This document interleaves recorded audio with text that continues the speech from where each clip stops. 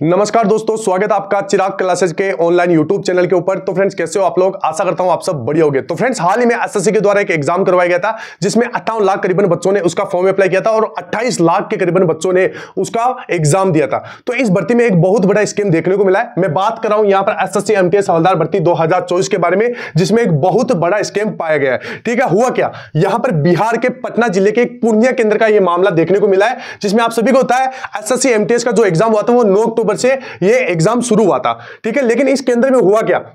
प्रत्येक दिन, आप सभी को पता, तीन शिफ्ट होती थी। पहली शिफ्ट के अंदर, यानी हर शिफ्ट में दस फर्जी उम्मीदवारों के द्वारा यह एग्ज़ाम दिया जाता था, ठीक है? यानी अगर पूरे दिन की बात करें तो लगभग तीस फर्जी उम्मीदवार पूरे दिन के अंदर एग्ज़ाम देते थे और इस एग्ज़ाम के, ये इस मामले में टीसीएस अधिकारी भी शामिल है, ठीक है? पूरा क्या मामला मैं आपको इस वीडियो के अंदर बताने वाला हूँ। अभी यहाँ पर बच्चे कुछ बच्चे जिनका पेपर अच्छा हो चुका है और कुछ बच्चे जो काफ़ी दिनों से इसकी तैयारी कर रहे थे, लेकिन यहाँ पर यह बड़ा स्केम होने की वजह से, उनके नंबर तो बढ़िया है, लेकिन वो सोच रहे कि, सर, अगर नंबर तो बढ़िया है, लेकिन सिलेक्शन होगा या नहीं होगा, क्योंकि यह मामला देखने को मिल रहा है। तो इससे क्या होगा, बहुत सारे बच्चों का भविष्य खराब हो रहा है। तो अब कुछ बच्चों का सवाल है यह है कि, सर, क्या आंसर की जारी की जाएगी या नहीं की जाएगी? ठीक है? तो इससे संबंधित सारी जानकारी मैं आपको इस वीडियो के अंदर देने वाला हूँ। तो ये वीडियो पूरा देखिए, आपको सारी चीज़ें अच्छे से समझ में आ जाएगी। और वीडियो आपको जरा सा भी अच्छा लगे तो वीडियो को लाइक कीजिए और शेयर ज़रूर कीजिएगा। ठीक है? तो चलिए शुरू करते हैं और बात करते हैं इस एमटीएस भर्ती दो हज़ार चौबीस के बारे में। तो यहाँ पर सबसे पहले यह न्यूज़ कटिंग जो काफ़ी ज़्यादा वायरल हो रही है, और यह आपने देख लिया होगा, और इसके अंदर पूरा मामला आपको देखने को मिलेगा, और इसमें क्या लिखा हुआ है? फर्जीवाड़ा, ठीक है? 9 अक्टूबर से चल रही थी परीक्षा। टीसीएस कर्मी के प्रति टीसीएस कर्मी को प्रति अभ्यर्थी मिलते हैं अस्सी हज़ार रुपए। मतलब एक अभ्यर्थी के अस्सी हज़ार रुपए।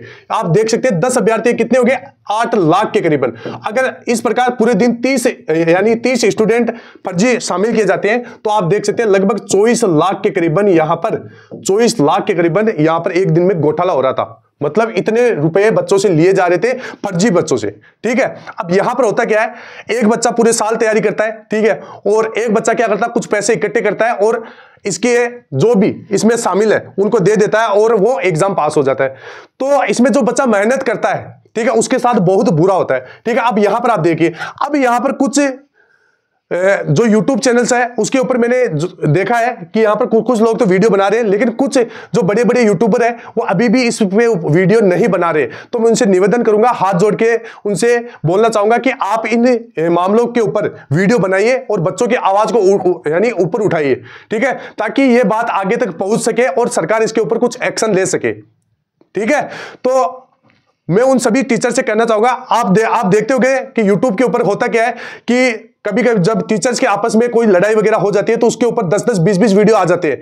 लेकिन अगर बच्चों के हित के बारे में बात करें तो इस प्रकार के वीडियो कोई नहीं बनाता है। ठीक है, बच्चों के कोई भी आवाज़ नहीं उठाता है तो मैं उन सभी टीचर से निवेदन करना चाहूँगा, आप भी इस मामले को पूरा ज़ोर लगा के पूरा उठाइए और सरकार तक इसकी आवाज़ पहुंचाइए एसएससी तक इसकी आवाज़ पहुंचाइए, ठीक है? क्योंकि बच्चों को इससे न्याय मिल सके। अब यहाँ पर फ्रेंड्स मैं आपको बता देता हूँ, इस मामले के अंदर क्या चीज़ हुई है, ठीक है? आप अगर पूरी चीज़ें देखोगे, आपको सारी चीज़ें अच्छे से समझ में आ जाएगी।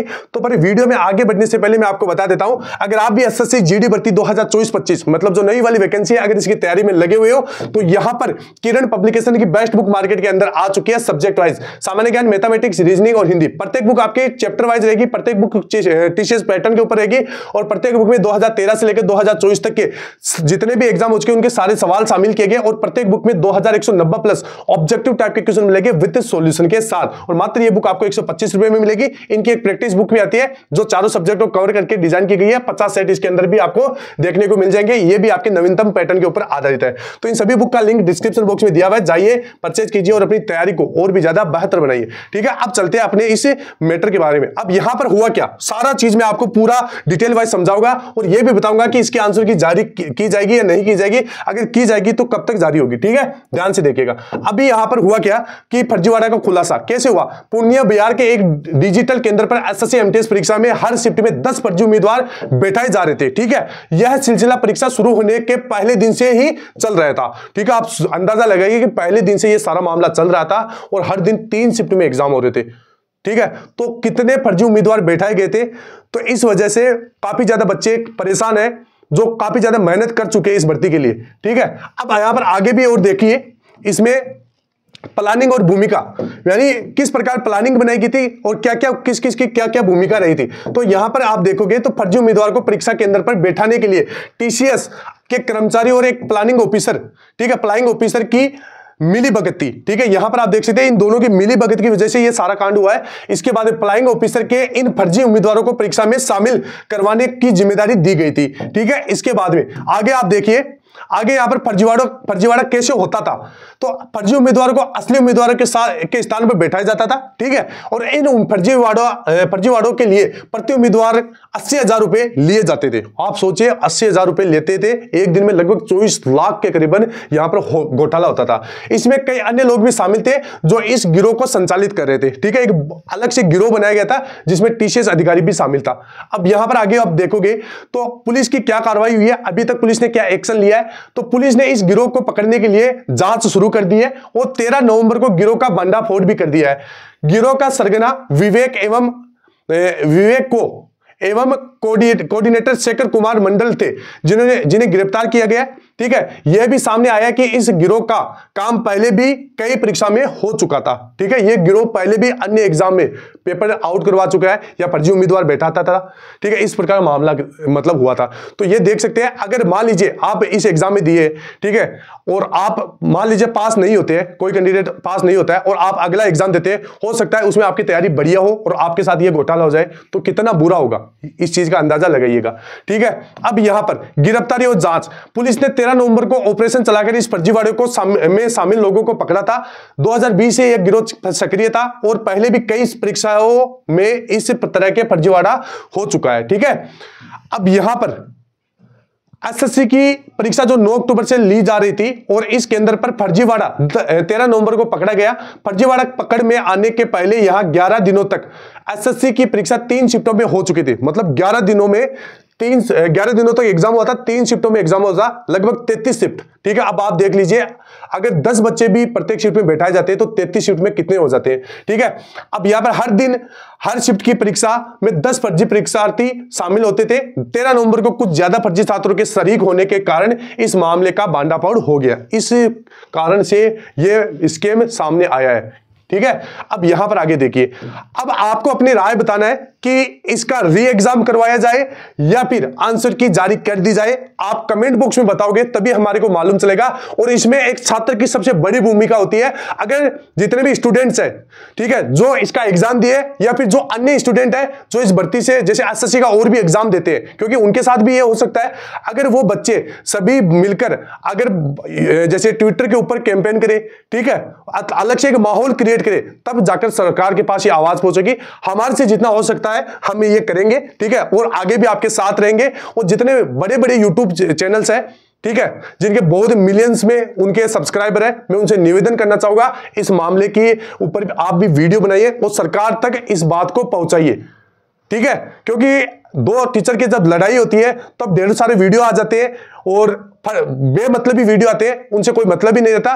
तो अगर उस प्रकार की वीडियो बनाए जा सकते हैं तो इस जो मामला है, इसके ऊपर वीडियो क्यों नहीं बनाया जा सकता? ठीक है?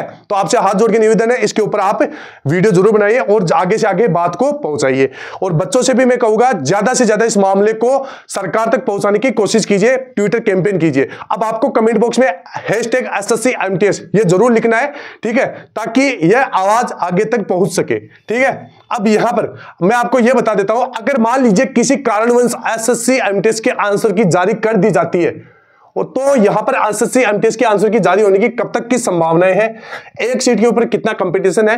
कट ऑफ़ कितना जा सकता है? ठीक है, ये भी मैं आपको बता देता हूँ। तो यहाँ पर आप देख सकते हैं, इतना आपकी पोस्ट है। ठीक है रिवाइज वैकेंसी हो चुकी है। एमटीएस के अंदर टोटल पोस्ट ये है। इसके बाद में, यहाँ पर कुल फॉर्म इतने भरे गए उपस्थिति ये रही है कंपटीशन अगर आप देखोगे फॉर्म के हिसाब से 600 पर सीट है।